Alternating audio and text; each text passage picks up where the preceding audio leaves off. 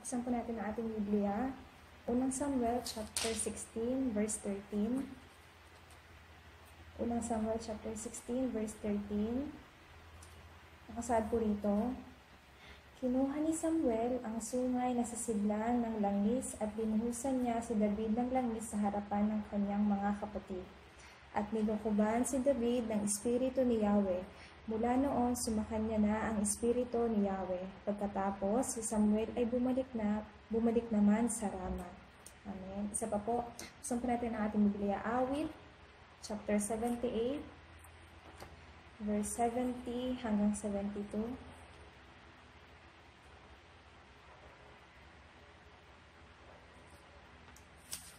Awit chapter 78, verse 70 hanggang 72. Nakasaad po rito, ang kinuhang pangunahi sa mahirap pa hinugot, isang pastol ang napili si David na kanyang lingkod. Ang alagang dati nito ay kawan ng mga hayop. Nang maghari sa Israel, nanguna sa bayan ng Diyos. Matuwid na namahala, na malakad na mahusay, lubos silang kinalinga sa tulong niya at patnubay. Amen. Ngayon ang mensahe po natin, ang topic po ay life preparation, answer of future. So, bilang tayo po ay mga anak ng Diyos, ano po ba ang inihanda na mga bagay sa akin ng Diyos? So, merong tatlong bagay na bilang tayong mga anak ng Diyos na kailangan laging tandaan. First, yung answer po or yung identity natin na me that God has made. Ano po ba? Me that God has made means yung mga tao, we people who were chosen by God from the beginning, hindi po tayo mga ordinaryong tao. Ano pong ibig sabihin nito? From the beginning, God has called you, God called you upang magkaroon po ng kaligtasan. Ibig sabihin po nito, you have the identity bilang isang anak ng Diyos. You have the identity, meron po kayong um, identity na kayo po ay imahe ng Diyos. That's why yun po yung answer or yun yung identity na me that God has made. Every day sa buhay po ninyo, you have to find that answer. You have to check your identity na bilang kayo na mga nilikha ng Diyos. So, kailangan yung kailangan, kailangan yung malaman kung ano yung value ninyo bilang isang mga anak ng Diyos, bilang mga tao na nilikha ng Diyos. There's so much blessing inside of that answer na me that God has made. Ibig sabihin nito, you have to discover your true value inside of the gospel. Ano sabi po sa Genesis 1.27? God created mankind in His own image.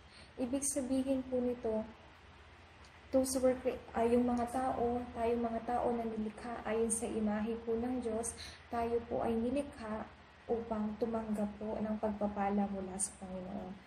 Then ano po yung pangalawa? Pangalawa po, things that God has given to me. First, me that God made. Then pangalawa, things that God has given to me.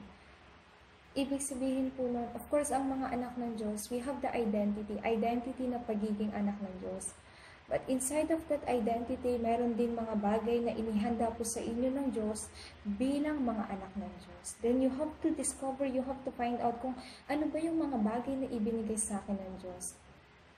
First, hindi, hindi po ito yung mga bagay na ino-offer ng mundo. Second, hindi rin po ito yung mga bagay na makikita natin dito sa mundo. It is the things that God has prepared only to His children. So you have to discover kung ano yung mga bagay na ibinigay sa inyo ng Diyos.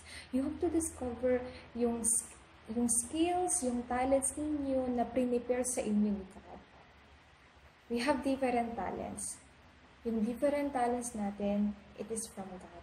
Pangatlo, feel that God has given to you always remember po na sa field kung nasaan man po kayo, merong inihanda ang Diyos ng mga tao for you to for you to share the gospel. For you na mairelay kung ano yung answer na na-receive mo din po. So, sa mensahe po natin, anong klase pong paghahanda yung life preparation natin to receive the answer of our future? Katulad sa buhay po ni David. Si Remnant David, kung makikita po or kung babasahin po natin yung buhay po niya sa Biblia, isa po siya sa mga nakatanggap ng answer ng kanyang kinabukasan. Of course, all the remnants, lahat ng mga tao sa Biblia, they also receive yung answer ng future po nila. Pero especially David, bago dumating yung future, meron siyang preparasyon. What kind of preparation na inihanda po niya? Meron pong tatlong importanteng bagay sa buhay po ni David. There are there's three important points po sa buhay po natin. What are these three points po? Three important points. First, summit time. Second, summit attitude. And third, summit vessel. These are the three important points na na meron po si David. Bago siya maging hari ng Israel, ano pong trabaho po ni David? He was a shepherd. Tama po ba? At ang pagiging at ang trabaho ng isang pastor po, pagpapastol ay hindi po ganun kadali. Why? Kasi po yung mga yung characteristic po ng mga tupa. Kaya nga po sinasabi sa Biblia na tayong mga anak ng Diyos, tayo po ay parang mga tupa. Bakit po? Kasi tayo po ay mga pasaway. Lagi tayong lagi tayong gumagawa ng sarili nating daan. And yung mga sheep, yung mga tupa, they are very weak. Kung ikukumpara sa mga ibang hayop, sila yung pinakahulog. Bakit po? Kasi they are weak. Kumaga, ilang metro lang ang layo, kumaga, ang nakikita po nila. Pero what are the special characteristic na meron po yung mga tupa na ito? Kilala po nila yung boses ng master po nila Naunawaan po ba natin? Pero hindi lang po yun ang importante. Ang importante po kung paano inihanda ni David yung kanyang buhay para sa kasagutan ng kanyang kinabukasan. Remnants, you have to receive this kind of answer too. Bakit po? Kahit, of course, tayo po ay merong past, merong present, and merong future. But God has no past, either future because God is always present. Ibig sabihin nito, God is always working sa buhay natin. Yun ang pinaka-importante.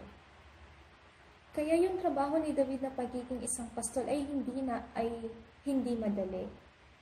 Kailangan niyang alagaan yung mga tupa, kailangan niyang pakainin. Ano pang nakasabi sa ano, ano pang sabi sa Biblia? Ni isang tupa ay walang ay hindi hinayaan ni David na mapahama. Ganito ka skillful si David. Kahit isang tupa na inaalagaan niya ay hindi napapahama. Sa ganung paraan, sa ganung halimbawa, makikita natin na David is very skilled man. I mean, young boy. Kasi siya po ay pastol pa lamang dito. Pero, ano po yung pinaka-importante sa buhay po niya? Sa lahat ng ginagawa niya, especially sa kanyang pagpapastol, hindi niya nakalimutan na magkaroon ng summit time. Ibig sabihin nito, hindi nakalimutan ni David na sa lahat ng ginagawa niya, nagkakaroon siya ng sarili niyang oras to meditate the Word of God. Kaya nga nagkaroon po ng libro ng awit. Yung libro po ng Psalms or yung awit, ito po ay tula ni David. Kailan po niya, ipo, kailan niya po ito ginawa? Nung time na siya po ay nagkakaroon ng sarili niyang oras to meditate the Word of God. So, ano pong ibig sabihin ng summit time na to? Ganito din, napaka-importante din na magkaroon tayo ng ganitong klaseng oras. Summit time, summit attitude, and summit vessel. Anong ibig sabihin ng summit time? You have the word, prayer, and evangelism. Always remember, Kapag pinanghawakan po ninyo ang salita ng Diyos, it will always fulfill sa buhay po ninyo. Why? Because ang Word of God, ang salita po ng Diyos ay buhay at mabisa.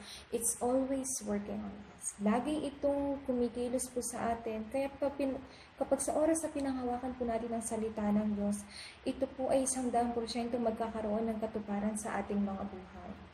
When you just, when you just uh, grab hold the covenant that Jesus is the Christ, sincerely, ito po ay magkakaroon ng katuparan sa inyong buhay. Then, what is prayer po? Summit time, ibig sabihin po nito, yung kasagutan ng panalangin po natin ay magkakaroon ng katuparan. Then, naturally, automatically, yung door of evangelism will open. Kaya ano po yung key point po sa buhay po ni David?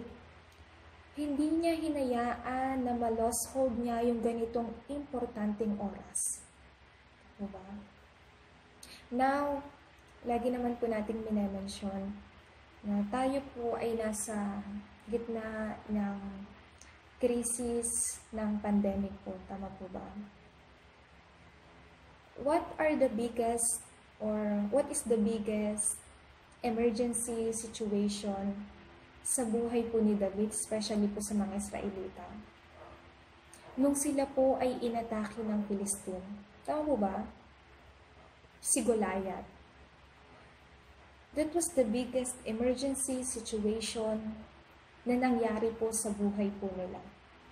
Pero si David na merong paghahanda before pa mangyari yon, hindi po siya natakot. Kaya anong sinabi niya? Hayaan niyo po ako, sinabi niya kay Haring Saul, hayaan niyo po ako na ako ang makipaglaban sa Filistin na ito. Why? Kasi merong assurance si David na he is fully prepared. Ano pong klaseng paghahanda? Hindi naman po minention sa Bible na si David ay magaling humawak ng uh, tawag po ito ng mga sandata, ng espada. Tama po ba? Ano lang po sinabi sa Biblia? Si David ay isa lamang ordinaryong namamasto. Ibig sabihin nito, isa lang siya ordinaryong tao na nag-aalaga ng tupa. Pero what kind of preparasyon na meron po si David? Meron po siyang salita ng Diyos. Kaya hindi po siya natakot na labanan yung Philistine. Ibig sabihin po nito, he was fully prepared with the Word of God. Kaya kung makikita po natin, sa sa Biblia sa 1 Samuel chapter 17 verse 45, ano pong importanteng confession ang ibinigay ni David? Lalabanan kita sa pangalan ni Yahweh. Ano pong pinaka-importante po dito? Sinabi niya, uh, sinabi niya kay Goliath, lalabanan mo ako gamit ang iyong sandata, pero yung importanteng confession na ibinigay ni David ay nagpabago sa buong Israel. Remnants, you have this kind of answer too. Yung preparasyon ninyo ngayon, magdededit, mag, magdedetermine sa kinabukasan ninyo. Your future. We are already spiritual summit. Pero kay, bilang mga spiritual summit, kailangan natin magkaroon ng summit time. I always um, mention this. Even yung mga individuals, yung mga successful individuals, yung mga great individuals, they have this um, time. Meron silang meron silang time of meditation. Pero what kind of meditation na ginagawa nila? Meditation to receive the power of the evil spirit. Pero when we, children of God, nagkaroon tayo ng time of meditation, that's what we call holy meditation. Ibig sabihin nito, we are enjoying the Word of God sa buhay natin. So, pangalawa, hindi lang siya nagkaroon ng summit time. Inside of this summit time, lumabas yung pagkakaroon niya ng summit attitude. Yun yung nagkaroon siya ng confession na Lalabanan kita sa pangalan ni Yahweh. This is the most important thing. Because he enjoyed yung pagkakaroon ng summit time, naturally, yung summit attitude ay, or automatically, naging witness siya ng pagkakaroon ng summit attitude na to. Ibig sabihin nito, wala siyang takot, hindi siya natakot kasi alam ni David na siya ay fully prepared through the Word of God. Mm. Ibinigay na sa atin ng Diyos yung ganitong kasagutan katulad ng uh, remnant na si David. So, what is this? First, summit attitude means to have a scheduled prayer. So, kapag nagka, pag nagtagumpay kayo sa pagkakaroon ng scheduled prayer nyo, it will allow you to have concentration prayer. When you um, kapag kayo ay nagtagumpay sa pagkakaroon ng concentration prayer ninyo, i-allow kayo nito to have continuation prayer. And ano yung magiging resulta na to? You will enjoy having deep prayer. Pero mas importante is, while having this kind of prayer, meron kayong breathing exercise. That's important para lahat ng toxic sa katawan natin lumalabas. Ibig sabihin nito, kahit anong kahit kahit anong bagay na gagawin ninyo, laging nakasentro sa loob ng salita ng Diyos. Amen po ba? So, kailan po ito mangyayari? Kapag sa oras na nagtagumpay kayo, having your scheduled prayer. Pangatlo, summit vessel. Pag sinabing summit vessel, it is your masterpiece. Yung masterpiece na na inihanda or ibinigay sa inyo ng Diyos. So, I really like this message na yung present life ninyo, kailangan ninyo makatanggap ng answer ng future ninyo.